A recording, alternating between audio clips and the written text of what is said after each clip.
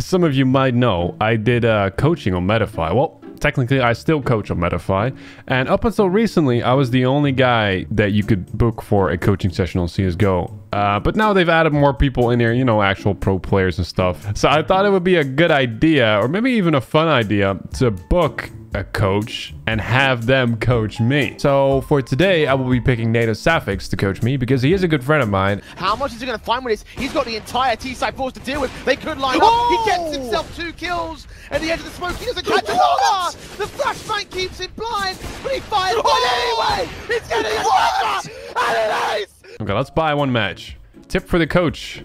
Oh, he, Niels can have my tip anytime. Oh. So he wants you to upload the demo on YouTube instead of having to go in Counter-Strike. I think I'm just gonna go send him a message because this is really confusing.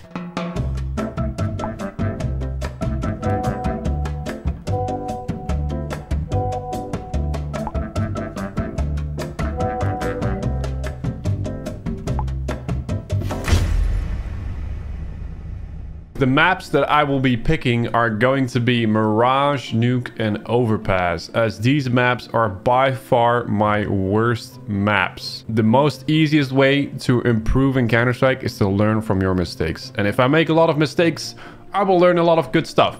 And you too, by the way. You guys will learn something too. So let's hop into the queue and pray to God we get some nice teammates. What do you know? It's going to be Mirage and Classic FACEIT puts us in a lobby with two guys who are 2k elo, a 5k elo player almost. So this guy's a FPL player. Interesting. He, I guess he really likes Andrew Tate. Because you know, within the paradigms of society, I shouldn't have even fucking done it. That's how much you know schools. Playing against the top G. If you've been looking to upgrade your knife or you've been looking to upgrade any other skin, you can do so on SkinsMonkey for a very cheap price. Because if you use my code, you get a bonus for everything that you trade. So if you trade up to $100, you get an additional $5 for free. And not only that, you can also buy skins on SkinsMonkey for very cheap because you get a 35% deposit bonus on there. So if you deposit $100, you get $135. And if you're quick enough, you might be able to join in on one of these giveaways. By the way, guys, I'm playing on a 360 hertz monitor right now, which has been sponsored by Zowie. If you guys want me to make a video about that, let me know down in the comments below. One bench, Let's go kill this guys on side. one car, car. bench and car. Bench, short, short. Oh, One shot, no. I, I thought that was my teammate. One behind. Behind box. One A, one A side. Oh, it's the stairs. Under one. Under one. Watch shotgun. You don't look at.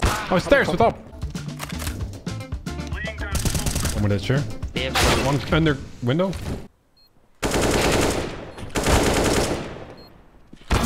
Ah, Nice try. thanks. Oh, he was 1 HP as well. Stairs, one HP. Sandwich. One Apex. Two A. That Palace. I'm holding off uh, city push for now. Okay. You don't look at someone. That default? Last Peter Palace. He has hope.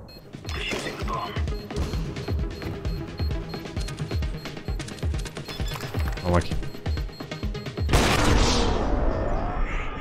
I gotta take one more look at this guy's profile, man. What, like... Wait, is his entire profile? His entire profile is full of Andrew Tate quotes. Holy Oh, shit. fuck. Yeah, one. What city, please? plant, What city? Pro, plant for con. What? One is uh, ladder. Plan for city, you know. Oh, oh my. The con smoke's fading.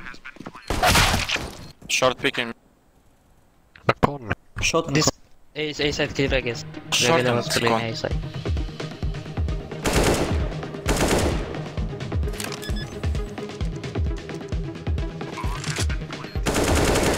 Fuck? Nice, bro. What the fuck is doing? I molly car, I keep running. Okay. I will flash mid. Get under. Get under. Yeah, I will. Nice. Nice. Backside. Jungle one, jungle one. I molly I jungle. don't see C. I'm 1 HP. Oh, maybe no kit. I play on your contact. I pick. City one. Just take. City last. Don't, don't, don't, don't. Hide. You can just hide, right? Nice. Dead. CT. High place. Yes. Nice, guys. Thank you, GG. Okay. Ah, the top G said GG. Hey, that's respect, man. He really tried to win it. I mean, I don't blame him. His team was just very toxic, I suppose. All right, we're gonna send this demo over to Niels, and he's gonna review it for me, and we'll see what comes out of it. Oh, how did I do, man? Course, bro. I actually think you did really good, but I, I Oh. do still have a lot of notes, like a lot. Okay, we're just gonna skip forward a bit because there were some issues with NATO's microphone and the video quality, so we're gonna switch over to NATO's point of view for the extra quality. the people that I've reviewed, at least the two individual like player coaching sessions I did, they were both on Vertigo, and I I could kind of mostly focus on how you should pl- better play the map. But for you, because you've picked like a regular map and you are so high elo already, I can focus more on like the sort of overall. I would I would call it a like macro game. Like Yeah, yeah. The like the fundamentals are already sort of there, like the the movement, the mechanics. And what I always start with in my coaching sessions is that I like to ask, like, how would you like to receive the feedback? Because I know if I was coaching myself, I would probably want it to be like, Give it straight to me raw, man. No condom, nothing. So for the pistol round here, your teammate gets contact on a guy over at A ramp, but he's quick to call one slope. In this moment, you are moving up here to clear top mid, but in the event that this is a fake, which is pretty obvious, these guys are moving towards B. Right. So you are actually getting yourself out of position. If they were to be playing top mid here, they would have already met you while you're in the middle of mid and you would be fucked. Yep. That's why if you instead stay back here, you can kind of play the same info if they come out mid, but you're closer to B, so you can still help. It is a very, very small thing. But what I wanted to also say is that in this case, holding this angle, it's not bad, but you could tuck more into the boxes. It makes it harder for him to come out and clear you because he has to be worried about this. And anyway, if he goes up here, he's probably more worried about mid. Also, another thing, I have to get some disclaimers out of the way here at the start. Since this is a FACEIT match, I'm going to be commenting on what you do, but honestly, what you do is like getting a little bit fucked up because your teammate is playing in a certain way, you know? Yeah, I get that a lot too, man. When I do like level six coaching, I'm like, bro, I don't know what your entire team is doing. Like, Yeah, exactly. But this is one of those rounds where your teammate you up a little bit straight off the bat. You're playing window in the middle of the round, and you have an AK. Meanwhile, your AWP player is playing con. In my opinion, if you start as an AWP con, it's because you have a specific peek in mind. Like you, or because you watch too many dog streams. You have to assume that the opponents are on eco. Right. But the weird thing is just that he's not playing window. yeah, you want to play that pop long range, right? Yes, Otherwise, you get run down. And con is one of the worst places to do that. Your AWP just killed a guy A house, and your teammate Slope just died from rim. To a Glock. I don't know if that happened. When you kill one A house against low money and they are not flooding out, it's very unlikely there are multiple people A house. In the event now where they kill your CT guy, what's most likely to happen is that it's slope and maybe con. What you're doing right now is you're flashing over bench for a teammate, which is pretty good. Um, I, I would just swing bench and try to destroy, you know. There is a lurk coming con, but hopefully your short guy should take care of this. I shouldn't really worry about connector when I'm trying to defend A with my teammate here. I should just swing out on a low bar. It's what I wrote down is have less respect for the pistols. You're fading the window smoke and you kill this guy. When you fade the window smoke, what I like to do, you're not window player normally, I think, right? Uh, I play wherever I feel. Okay, okay. I'm the Phil But- guy. you feel me? When you fade the window smoke, always crouch. You can clear top mid and have these duels without the worry of someone killing you. Okay, yeah, makes sense. You early on get tagged by a scout here. You now go to B, which kind of makes sense because again it is low by and you have only one playing B for some reason. Yeah, that's that's why I went B. I only saw one guy there. Now your teammate dies in mid, which is also a super bad play by him. The info you have now is that one died coming underground and one guy is close mid. So probably these two guys are not alone. I think that's kind of safe to assume. There has to be at least one more, most likely. What I think is a good call here is that you say to your to your number three here, let's push B. And if you go here and push together, it should be either you kill him for free, you get all the B control, or he kills one of you and it becomes a trade. And so by pushing B in this moment, you clear out B, at least you, you win like half the map for free. Before you left mid here, you could have bounced a smoke down to con this way, or you could have come here, bounced a smoke con this way, Oh, I don't see a mouse. or uh, that's awkward. When you leave mid, you at least leave your mid strengthened. A really unlikely thing to happen when the T's have low economy is that they will walk over short, and this is the one thing you're defending. For this round, it's just a small note. You should prioritize having an AWP when you are window player. Yeah. There's also a lot of rounds here where I would say you're you're staying behind the window smoke for too long. It's already 25 seconds in a round where you haven't done anything other than throw nades through the smoke, you know? Yeah. This is the only point in the round where I feel like you could maybe do something uh, really good. When this Molotov comes in, you know um, the Molotov directly in front is about to fade. You could consider running through the Molotov here and killing him because the trajectory of this Molo is that he's close. And the last thing he will expect is that his Molo is too deep and you can push the other Molo and take, let's say, 30 points of damage and kill this guy in the back. This I really like, that you're searching actively with the AWP here. It's almost always free to just random timing search with AWP here. Right. So I really like you do that. And I love your patience here, that you are chilling so much. But honestly, what a round comes down to is your teammate is in what I would call a guard position. Um, He can't lose it, pretty much. yes, Because if the opera wants to kill me, he has to go very wide, and then Lele can just trade me on the contact. Exactly. So when you have these guard positions, you have to completely bait your teammate, wait for him to die, and then kill him. See, if the positions were changed, I would have won this because I'm a professional at baiting. So and it's the same case if he comes out A house, he has to go very wide.